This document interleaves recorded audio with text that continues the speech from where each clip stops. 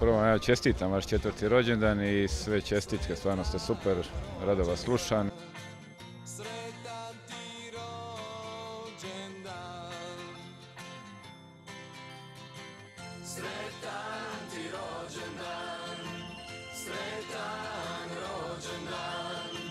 Sretan ti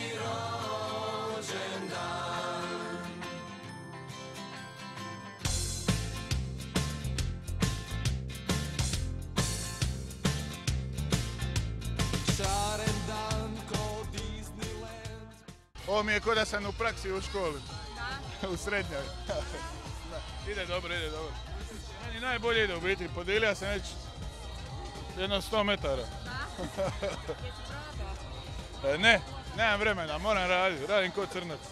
Moram raditi cijelo vrijeme. Zato ovi drugi imaju vremena za jest. To bi njih, njih bi trebala pitati.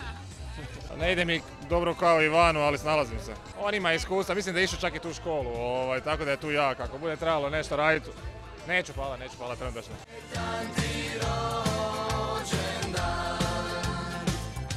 Jedan sendvič, jedna pusa. Da, ali samo po- poznatima, ne, ne, mislim poznati meni ljudima, ne baš bilo kome. Jesi probala sendvič, jel valja? Nisam, nisam stigla, ali jako mirišu. Zapravo čekam da prvo obavimo posao, a onda ću uživati u sendviču.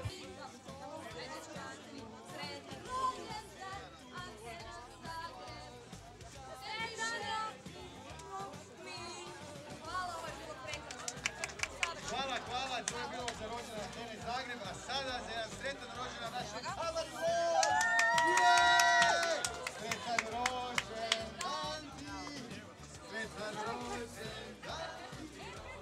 Ujutro najviše volim slušati ovaj vaš e, jutarnji show Barbaru i Ivana. Ujutro me probude, nasmiju i ono dok njih vodim u školu stvarno, stvarno se opustim. Tako da.